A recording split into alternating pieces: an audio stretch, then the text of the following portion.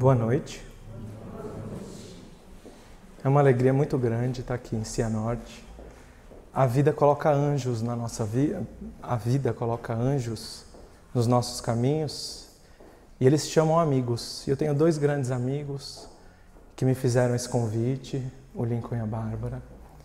E agradeço toda a diretoria, a presidência da casa, a Federação Espírita do Estado do Paraná, em nome do seu Adriano Greca que muito me recebe, que me acolheu essa federativa, essa federação espírita. É um prazer muito grande.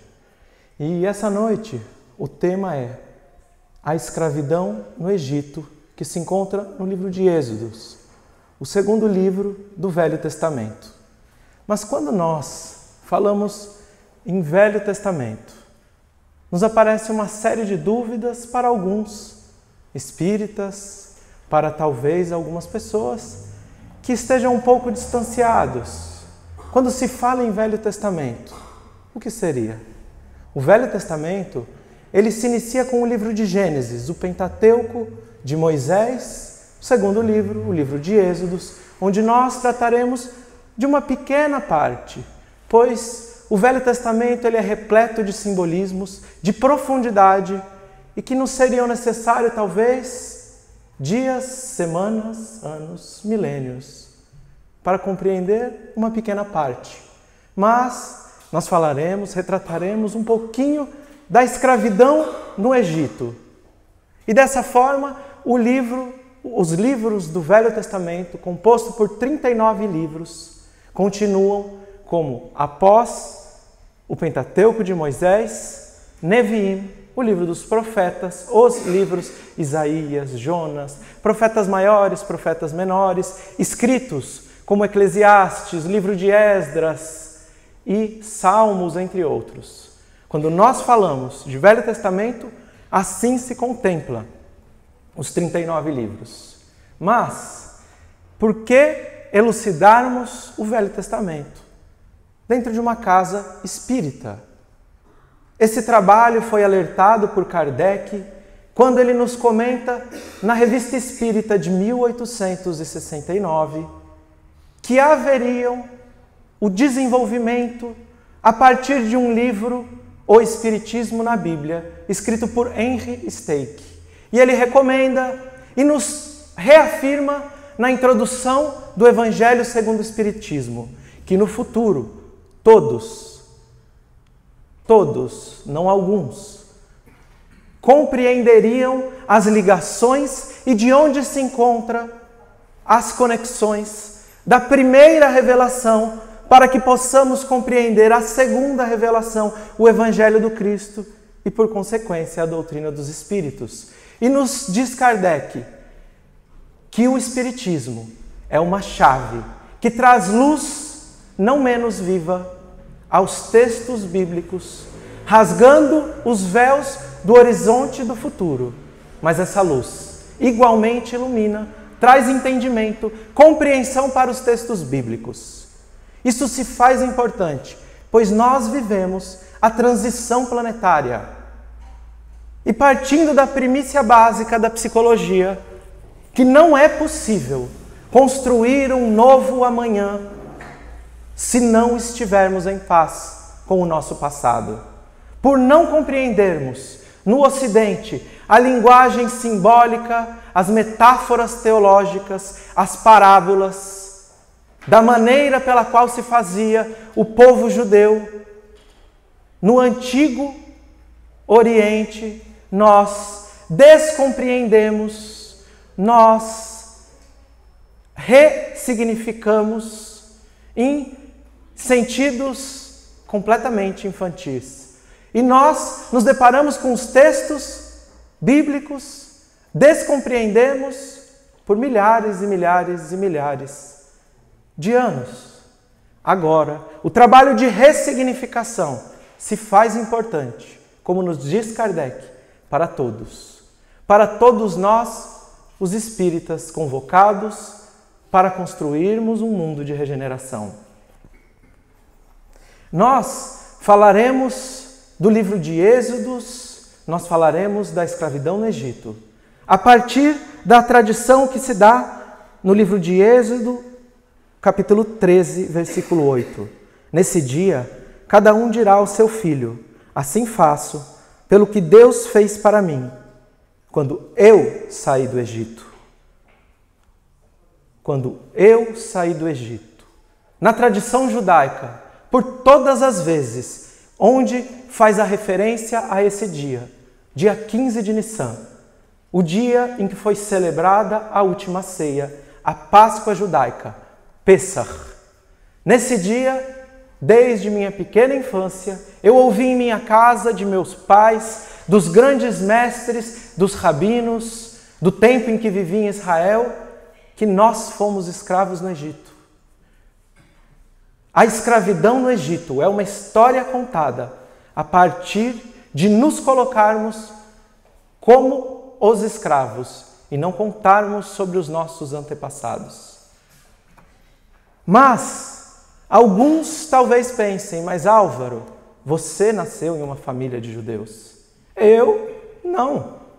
Mas nos conta o Midrash, um dos textos da tradição oral da Torá e do Velho Testamento. O Velho Testamento, a Torá, quando foi dada por Moisés, o Pentateuco de Moisés, quando foi dada no Monte Sinai, não foi dado somente os livros escritos, mas foi dada também uma tradição oral que se faz de fundamental importância para a compreensão desses textos. E um desses textos o Midrash, que foi escrito no decorrer da história do povo judeu, nos conta que para cada judeu que saiu do Egito liberto da escravidão, nós havíamos 50 não-judeus. Daí o entendimento literal, porque nós contamos, nós todos, como escravos do Egito. Ao final da palestra, talvez a maior parte de nós vai compreender que ainda somos escravos no Egito. A palavra Pesach, Páscoa, ela vem de passar por cima. Na última praga do Egito, que nós não falaremos hoje sobre ela, mas para que possamos compreender como um mecanismo simbólico aonde nos leva à correção dos nossos rumos espirituais, tanto dentro de um microcosmos, de um espírito individual ou de um macrocosmos, uma sociedade como um todo. Nós veremos que, por não coincidência, dentro do livro Há Dois Mil Anos, o senador Publio Lentulus recebe dez makot, como assim se diz em hebraico, dez atos de causa e efeito, o efeito das causas programadas por ele, quase que na mesma ordem das pragas do Egito. A última delas, a morte dos primogênitos, no livro, há dois mil anos, a morte de Marcos. A cegueira, a escuridão. Mas hoje não falaremos sobre isso. apenas para que vocês possam refletir um pouco mais e que fique a dúvida para instigar a procura e o estudo desses textos bíblicos. Então, Pessah, passar por cima, a morte dos primogênitos, conta-nos a tradição que os judeus pintaram um umbral, e quando falamos umbral, os espíritas já ficam com medo. Mas não é o umbral de André Luiz, é o umbral das portas que eram pintadas, marcadas com o sangue do cordeiro sacrificado, para que o anjo da morte, Pessah, passasse por cima. A festa de Páscoa, que foi celebrada por Jesus na última ceia, não é a celebração do êxodo do Egito apenas, mas é a festa de libertação do Espírito. No livro de Gênesis nós encontramos a passagem de Abraão Avino, Abraão, Abraão, o primeiro dos judeus. Deus fez uma promessa a Abraão: seus filhos serão como as estrelas do céu. Pegue um punhado de areia, veja se pode contar os grãos, assim será feito de ti grandes povos. Os filhos de Abraão se encontram por todos os lados. O nosso governador Ismael, governador espiritual do Brasil, coração do mundo, pátria do Evangelho, filho de Abraão, espírito que tutela a conduta e o futuro do Brasil dentro dessa missão que se faz importante nos dias de hoje. Abraão encontrava-se aos 89 anos de idade à porta de sua tenda. A tenda de Abraão possuía saída para os quatro lados do mundo. Todos aqueles que chegassem deveriam ser recebidos pela porta da frente.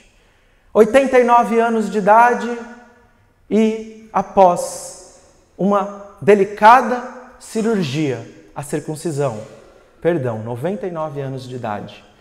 E ele, ao sol do meio-dia, reza para Deus, o Criador do universo.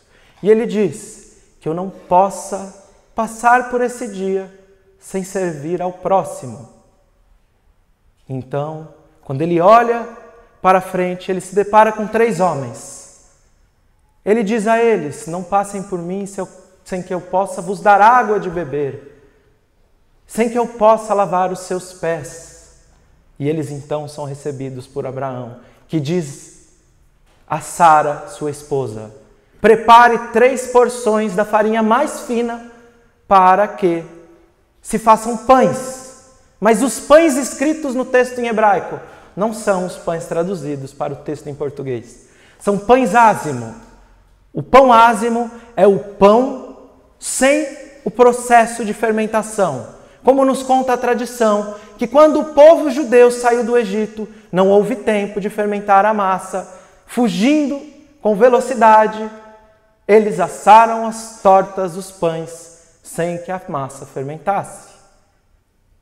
Quando nós nos recorremos à segunda revelação, quando nós nos deparamos com o Evangelho do Cristo, o Cristo nos diz: não sejais como o fermento dos fariseus. A representação do orgulho, pois pega um pouquinho de farinha e transforma em um pão muito maior do que realmente é o seu tamanho. Abraão estava naquele dia celebrando a libertação do Espírito a partir de servir ao próximo. Logo na sequência do texto, aqueles três homens que serão ditos como três anjos. Eles partem para a cidade de Sodoma e Gomorra, para a casa de Lot, sobrinho de Abraão. E então, ele faz a mesma proposição e prepara os mesmos pães. Não era apenas Abraão. Lot celebrava a libertação do espírito. Daí então, nós continuamos a expressão compreendendo que Jesus, na última ceia, estaria a celebrar naqueles dias, junto aos seus apóstolos, a partir do mesmo ato simbólico que realizou Abraão, que realizou Lote, a libertação do espírito de todos nós, através de nos evangelizar de introduzir na atmosfera psíquica do planeta de uma vez por todas, o Evangelho a partir de enxergarmos, compreendermos a redenção do Espírito como servir ao próximo. Nós então imaginamos que a escravidão no Egito se deu do dia para a noite. Mas Abraão teve um filho, Isaac. Isaac teve Jacó. Jacó teve doze filhos. Seus doze filhos deram origem às doze tribos de Israel. E é tão importante esse assunto que o evangelista Mateus inicia o seu evangelho, capítulo 1, dizendo-nos a descendência de Jesus a partir de Abraão, com os mesmos nomes. Esses doze filhos, junto com Jacó, sentiram fome na terra de Israel. Eles então decidem descer ao Egito. Mas eles sabiam que seriam escravos, pois no livro de Gênesis, Deus havia feito uma promessa, uma predição a Abraão: seus filhos serão estrangeiros em terra alheia, em terra estranha. E lá eles sofrerão 400 anos de escravidão. O povo judeu sabia que caminhava para a escravidão. Eles então adentram ao Egito Antigo, o maior império naqueles dias do mundo. E eles então se multiplicam, se fortificam, um povo altamente intelectualizado, vai galgando posições dentro da sociedade egípcia e eles se tornam poderosos. O Faraó, ele então, olhando aquele povo, Compreendendo as posições que alcançavam, eles então decidem juntos realizar um plano para que, caso o Egito fosse invadido, os judeus não se aliassem junto aos outros povos, transformando os egípcios em escravos. Daí então, o Faraó decide subir os impostos impostos exclusivos para o povo judeu. Os judeus começam a pagar mais impostos e os impostos vão sendo aumentados e vão sendo aumentados até o dia que os judeus se tornam pobre, pobres por entre a sociedade egípcia. Os judeus, perdendo a capacidade financeira, recebem a mensagem de uma série de mensageiros do, do faraó que mandou dizer por todo o Egito que seriam construídas obras faraônicas. E seria pago uma moeda de ouro para cada bloco produzido e assentado em sua obra. Os judeus, muito desconfiados, duvidam daquilo. Mas, se em Cianorte hoje tivesse sido dito que seria pago um bloco de ouro para cada bloco assentado em uma obra, nem o palestrante estava aqui hoje. Os judeus foram averiguar. Chegando ao campo de trabalho, eles veem as pessoas trabalhando. Os egípcios veem que aquilo é verdade. Eles decidem então entrar no campo e os contadores do Faraó contavam cada dia quantos blocos cada um daqueles judeus era capaz de colocar. E eles logo compreenderam que era para receber suas moedas de ouro. Trabalhavam sem dia, sem noite, sem descanso e aumentaram ainda mais o trabalho. Quando um dia no horizonte eles enxergam uma poeira que vinha no deserto e chegava uma caravana. Essa caravana desce de uma carruagem, nos conta o Midrash, uma carruagem toda de ouro, incrustada em pedras preciosas. Seis cavalos egípcios dos mais lindos. O faraó. O faraó desce em pessoa para verificar o trabalho daqueles voluntários. Eles então se colocam a prostrar-se, judeus não se ajoelham perante nenhum rei, mas, correndo risco de vida, eles poderiam assim fazer. Eles então se prostram ao Faraó e o Faraó pega um daqueles blocos, assenta pessoalmente o povo judeu trabalha com mais e mais força, com mais e mais intensidade. Se já não bebiam água, viraram camelo. Se não descansavam, já nem mais dormiam. E assim, os egípcios foram saindo dos campos de trabalho e aos poucos permaneceram só os judeus. Aqueles que anotavam quantos blocos eram assentados, não mais se viam presente. E um dia um dos judeus decide descansar. E quando ele se senta à sombra de uma árvore, o chicote daqueles que contavam os blocos é ouvido por todos. E ele diz: Eu sou um voluntário. O que você está fazendo? Eu trabalho para o Faraó, para o rei do Egito. E eles então se tornam escravos por 400 anos. Seus filhos nasceriam escravos, seus netos, seus tataranetos, e assim consecutivamente,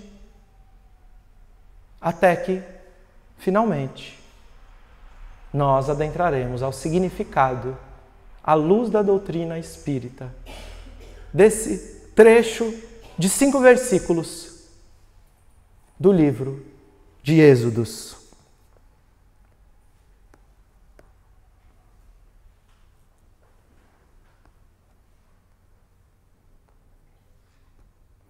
Primeiro passo para nós compreendermos é analisarmos uma aparente contradição, aparente contradição, pois, salvo engano, capítulo 3, se eu estiver equivocado, capítulo 4, do livro A Caminho da Luz. Emmanuel nos diz que de todos os povos exilados de Capela, entre eles egípcios, judeus, árias e hindus, os menos endividados para com as leis divinas seriam os egípcios.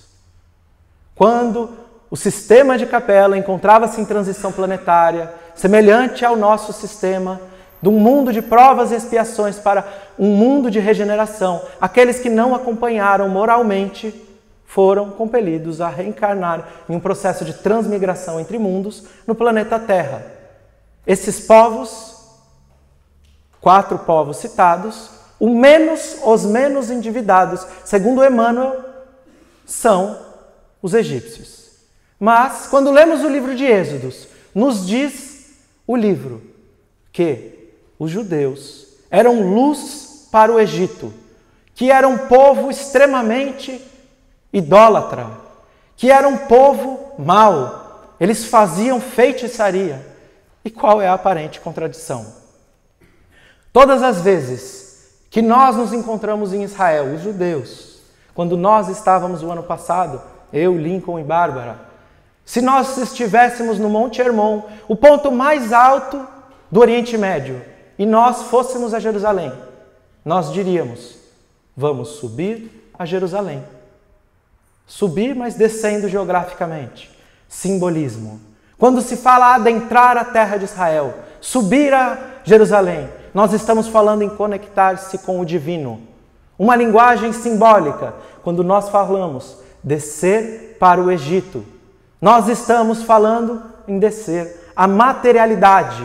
Não existe nenhum choque, apenas o ponto de vista. A linguagem expressa nos textos bíblicos é uma linguagem de metáforas teológicas. Daí então, havia fome em Israel. Qual é o significado da fome? A fome foi descrita por Jesus no capítulo 4 do Evangelho de João, quando encontra-se naquela famosa passagem da mulher samaritana. Jesus, ao lado do poço de Jacó, na cidade de Sicar, espera com que os seus apóstolos caminhem até a cidade para trazer comida. Quando então eles retornam, Jesus se encontrava no famoso diálogo. Quando encerra-se o diálogo, questionam o Cristo: Queres de comer? E Jesus responde: A fome que eu tenho é a fome de cumprir a vontade do meu Pai celestial. Vós não tens.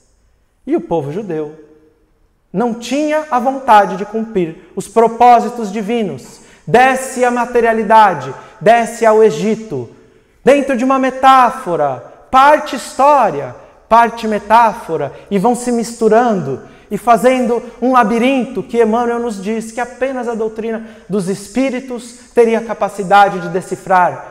já que os grandes mestres do judaísmo, eles fizeram a transmissão desse conhecimento de mestres para discípulos e não para todo o povo judeu. Então, qual é o significado do Faraó? O Faraó é o maior representante de toda todos os vícios, as paixões materiais. O Faraó começa a observar que os judeus vão crescendo, mas crescendo, matando a sede com a água do mar, crescendo em materialidade, em riquezas, em paixões. E quanto mais se caminha dentro das paixões, quanto mais se buscam as riquezas materiais, mais nós necessitamos delas. Mais dependentes nós nos tornamos de toda a materialidade. Então, o aumento dos impostos significa que nós nunca nos saciamos de materialidade, de descer ao Egito. Nós sempre queremos mais e mais e mais. E a proposta de se trabalhar para o Faraó chega por todos os mensageiros e não pelo próprio Faraó. Os mensageiros que batem nas portas de nossos corações todos os dias. Hoje nós temos Facebook, Instagram, Rede Globo e todas as outras televisões abertas, fechadas, filmes. Temos também os amigos de infância, temos as companhias do trabalho, temos as vicissitudes como um todo, cada um de nós com a sua percepção e com sua tendência, com a sua paixão aguçada para um vício moral diferente. E eles nos procuram e falam: vamos trabalhar em uma cidade Obras faraônicas te trará a felicidade, a felicidade suprema. Sua felicidade será tão grande que você será pago com moedas de ouro. Assim nos dizem as paixões. E nós, desconfiados, caminhamos até a cidade. Observamos aqueles nossos amigos que se encontram dentro desses vícios. Observamos as propagandas que aguçam o nosso olhar. E então decidimos participar da obra, da construção, mas como voluntários, é claro. E então nós iniciamos o trabalho, nós vemos que se torna tão gratificante, como todo vício nos primeiros momentos, que nós sentimos a realeza do próprio Faraó, com sua carruagem de ouro, com seus prazeres, com seus cavalos, e o próprio Faraó se faz parte na nossa obra de paixão, alimentar as paixões humanas naquele momento. Mas num processo de condicionamento psicológico, num processo onde gradativamente nos habituamos aos vícios, nós então nos tornamos escravos dele. Um belo dia, nós decidimos que queremos descanso, não mais faz o sentido que fazia. As moedas de ouro eram só ilusão. O próprio Faraó foi apenas uma ilusão, pois ele foi aquele dia, foi na próxima semana, foi no próximo mês, mas ele desaparece, ele nunca mais aparece nos campos de trabalho. E os egípcios, aqueles amigos, eles já não se encontram mais lá. As paixões nos trazem pura e unicamente ilusões. Em hebraico, o mundo em que nós vivemos chama-se Olama Sheker, mundo de mentiras. Todas as vezes que recorremos à materialidade, nos tornamos escravos, mas nós apenas percebemos depois que nós não vemos mais sentido naquilo.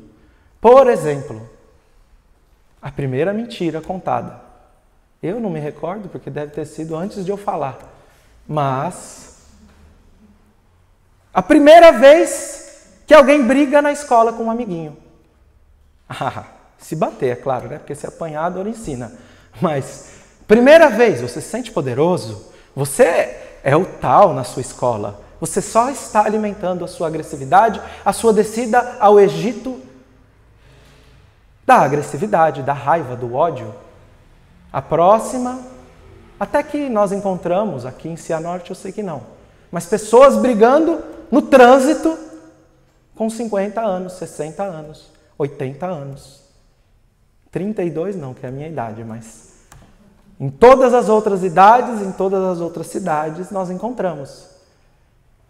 E de repente, nós temos filhos, uma namorada nova e a gente não quer mais brigar no trânsito. Mas aquilo se tornou uma escravidão. O álcool aos 15, 16, 18, porque nós cumprimos a lei no Brasil, 18 anos. O primeiro gole de cerveja é ruim, mas de outra bebida doce, talvez tenha sido bom. E a gente bebe e sente o faraó, sente os prazeres. Ah, aquela festa foi inesquecível. Os mensageiros vêm na próxima, no próximo encontro, através dos amigos.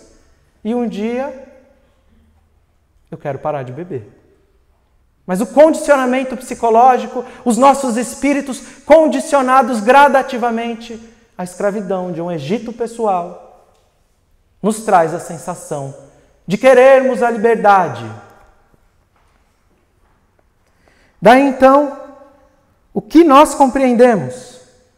Kardec questionou na pergunta 908 do Livro dos Espíritos: como poderá onde as paixões deixam de ser boas para se tornarem más. Espera aí. Onde as paixões deixam de ser boas?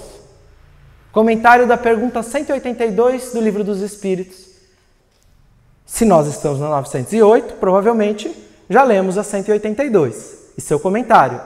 E lá diz que evoluir é afastar-se das paixões humanas. Mas se afastar, se evoluir, em que momento ela se torna boa?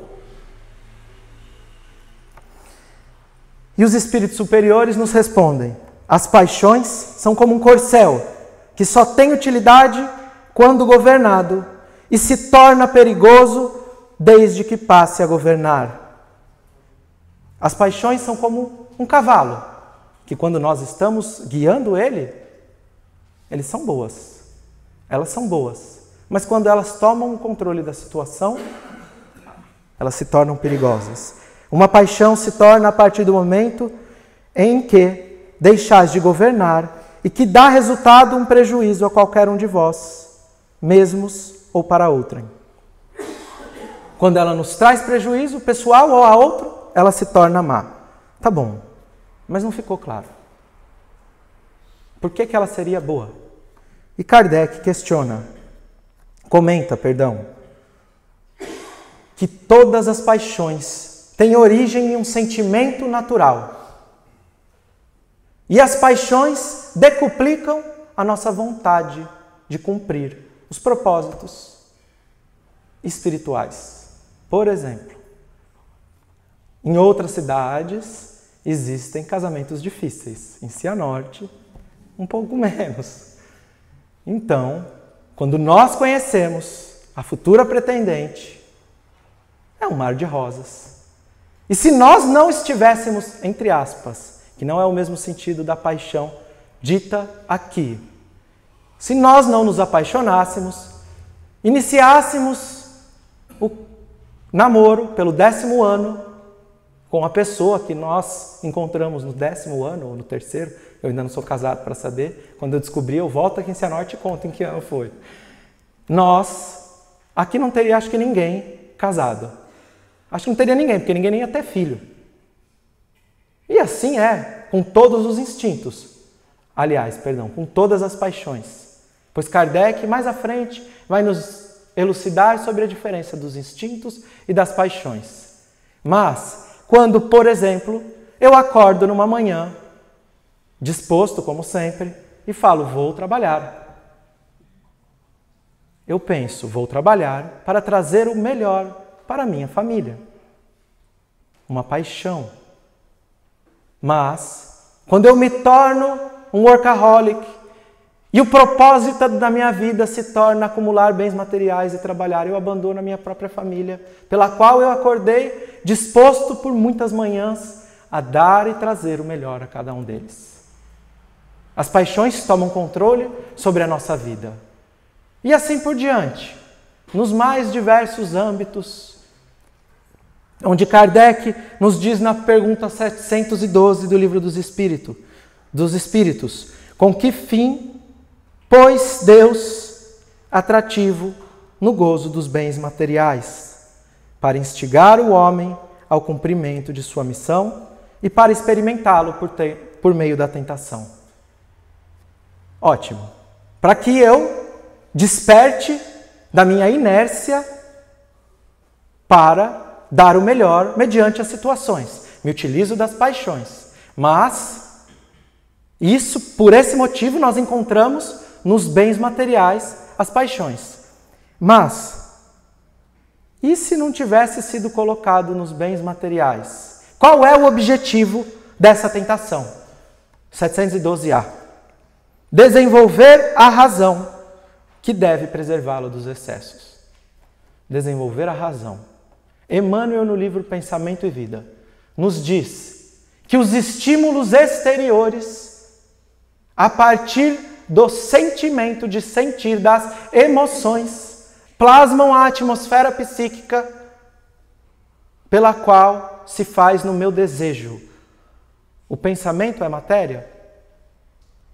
Sim. Do ponto de vista dos espíritos, sim. Se plasma a matéria, um dos elementos é o desejo, o sentimento, que se faz em nosso coração. Podemos associá-lo com uma paixão sem dúvida. Estou eu dirigindo hoje, vindo de Maringá. O Lincoln falou: estou com sono, vou dormir na estrada. Álvaro dirige. A Bárbara falou: eu estou grávida. Não tá, mas poderia estar.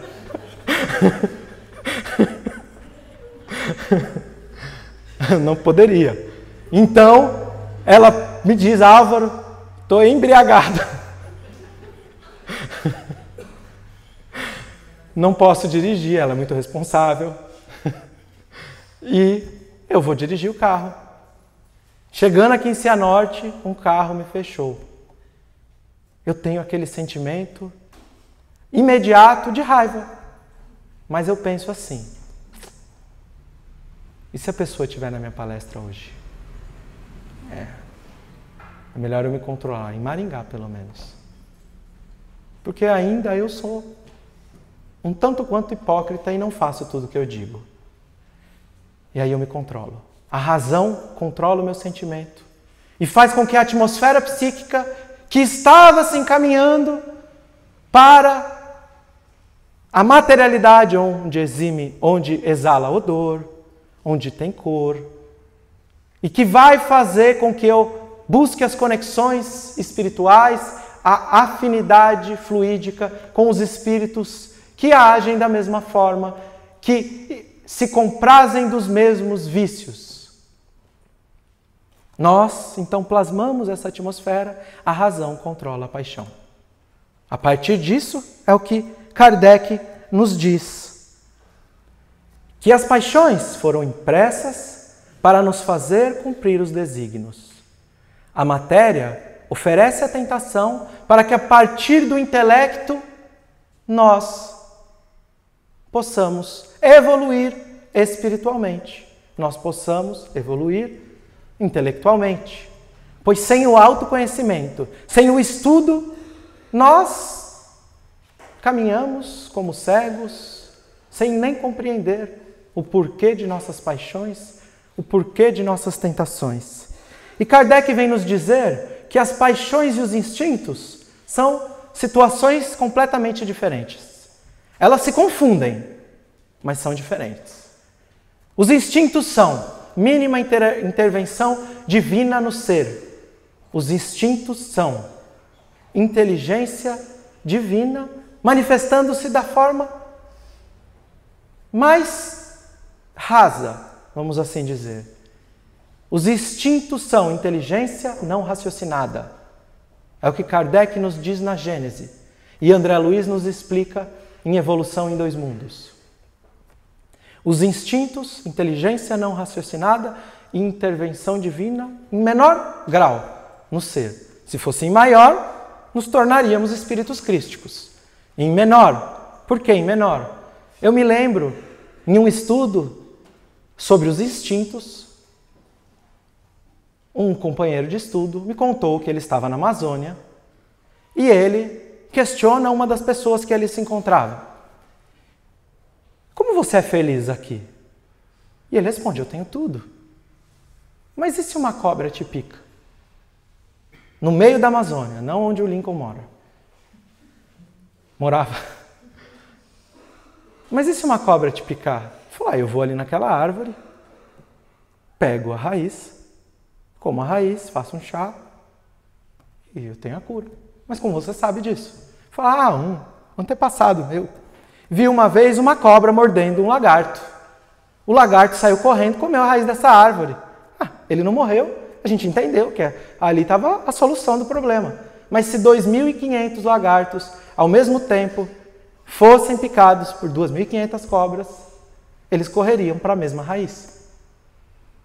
Inteligência não raciocinada.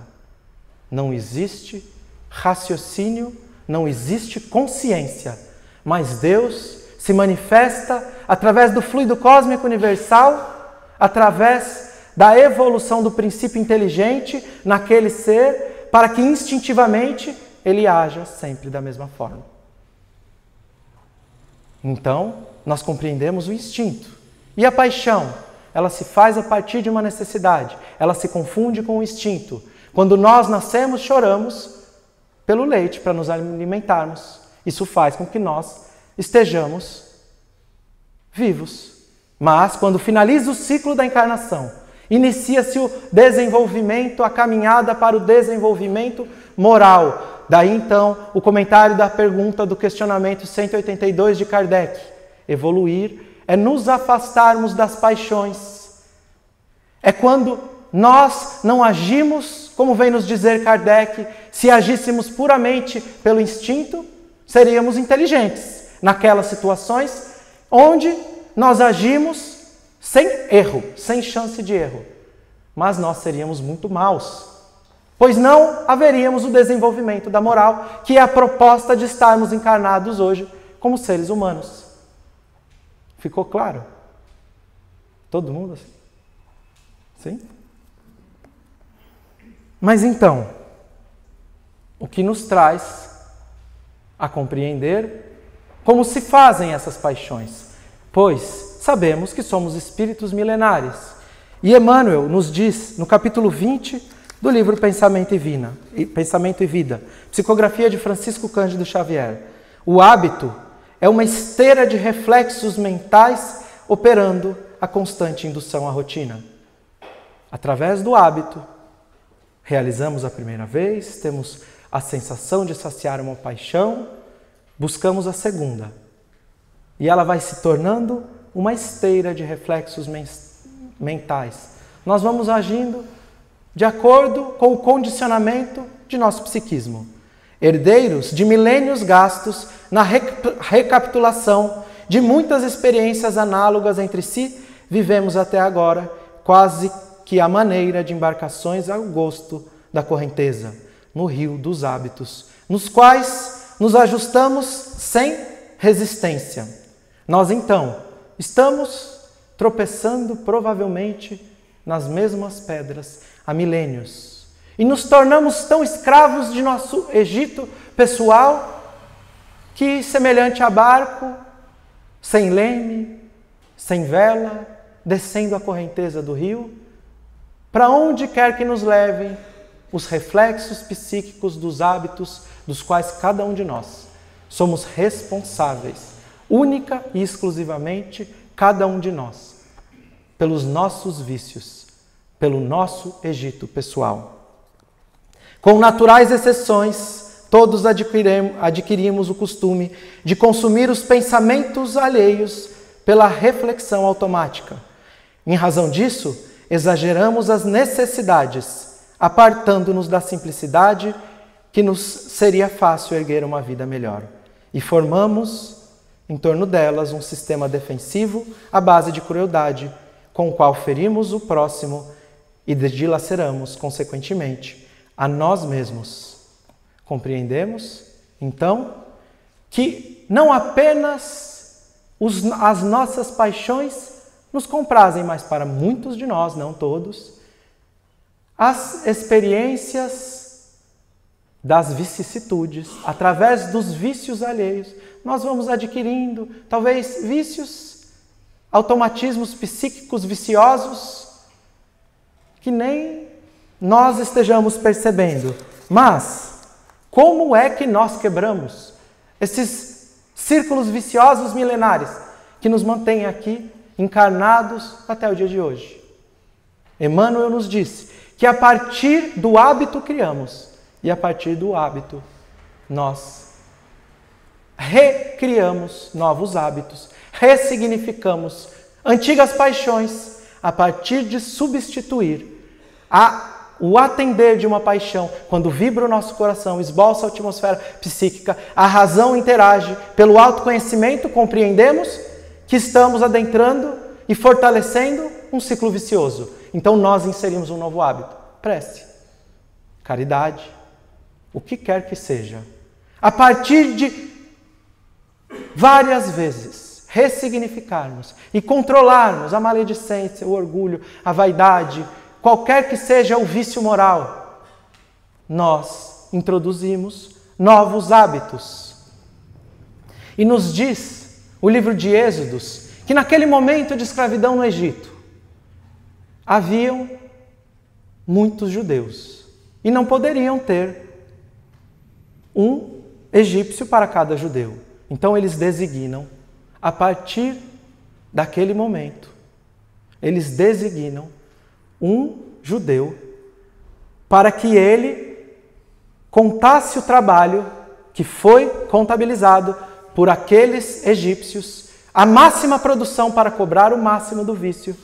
E esse judeu tinha um grupo de outros dez. Então eles diziam: se você não fizer com que os outros dez trabalhem, nós batemos em você. Se vocês não fizerem com que esses dez coloquem mil blocos por dia, a média de trabalho do povo judeu, nós fazemos com que você seja chicoteado. Mas esses judeus, 70 deles, decidiram então que eles trabalhariam ao lado dos outros 10 judeus. E se tivessem que apanhar, eles apanhariam eles sofreriam a carga difícil para que eles não vissem o seu povo sofrer, o seu próximo sofrer.